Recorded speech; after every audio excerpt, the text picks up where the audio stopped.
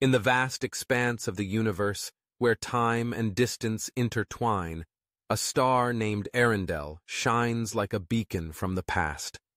Discovered in 2022 by the Hubble Space Telescope, Earendel, officially known as WHL 0137 LS, is the most distant star ever observed, its light having traveled an astonishing 12.9 billion years to reach us.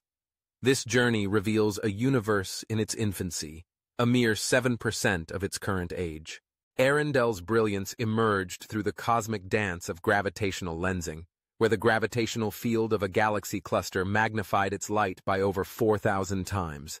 This massive B-type star, with temperatures soaring between 13,000 to 16,000 Kelvin, boasts a luminosity millions of times that of our Sun. Yet, much about it remains enigmatic, inviting astronomers to delve deeper into its mysteries. Studying Earendel not only enhances our understanding of stellar formation shortly after the Big Bang, but also enriches the intricate narrative of cosmic history, challenging our perceptions of the universe's evolution.